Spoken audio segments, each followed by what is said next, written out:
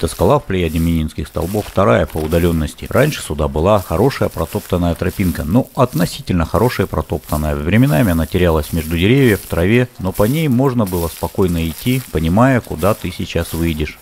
И она даже отмечена на картах. А сегодня эта отмеченная на картах тропинка выглядит вот так. Уссурийский полиграф и ветровалы сделали свое дело. Можно утверждать, что фактически тропы больше нет. И если вы здесь никогда не ходили и у вас нет в голове компаса и вы не знаете куда идти, я не советую соваться в эту лесную чащу. Скорее всего, вы очень сильно устанете, вымотаетесь, но так и не дойдете к заветной цели. Однако на скалу домашняя можно попасть от брода через речку Лиственная, если штурмануть гору резко вверх. И если вам повезет, и вы знаете, где начать свое движение, вы найдете тропиночку, тоже идущую и петляющую среди завалов, иногда теряющуюся, но более внятную и различимую, чем ту тропу, которая идет от первого столба. То, собственно говоря, в этот раз мы и сделали. Если поднимаясь в горы вы видите вот такие останцы, значит вы на верном пути.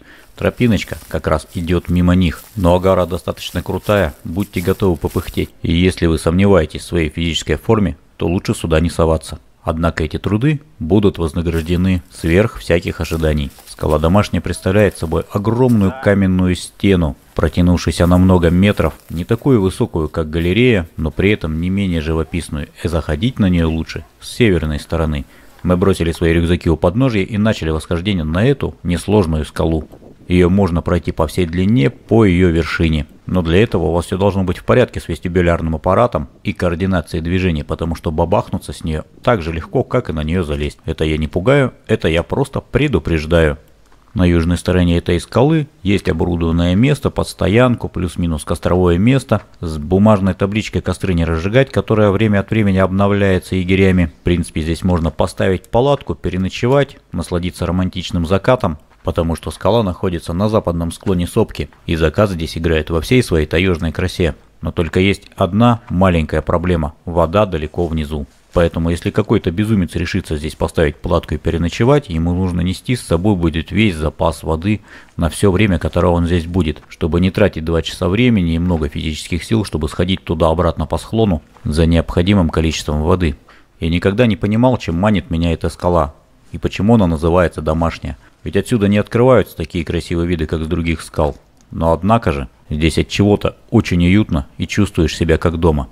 Если знать, с какого места и куда смотреть, то вдалеке можно разглядеть гору Парус. Именно от Паруса мы сегодня и пришли, по пути на электричку домой.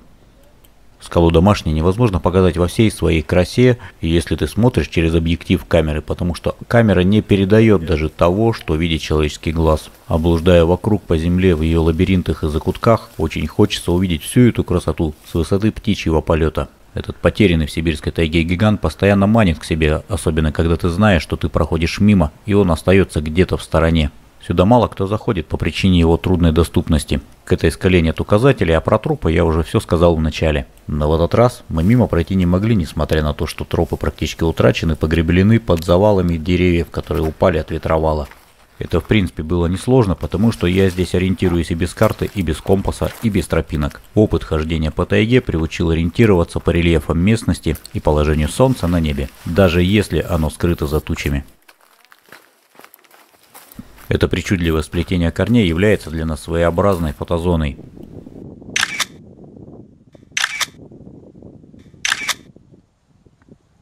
Это съемка 2015 года. Сосна слева еще зеленая, она только что упала и облокотилась на эту скалу. А вот так выглядит уже эта сосна в 2021 году. Все вокруг меняется, и только скалы остаются неизменными.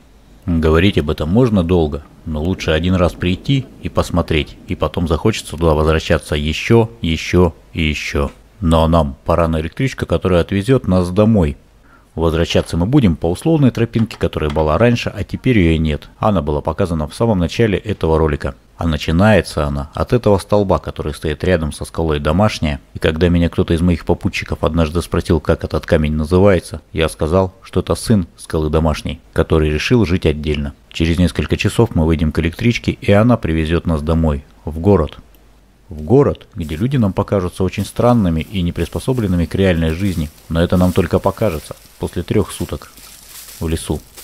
Но мы точно будем знать одно. Все, кто здесь побывал, не сможет точно ответить на вопрос, где его дом. здесь, в городе, или там, возле скалы домашняя.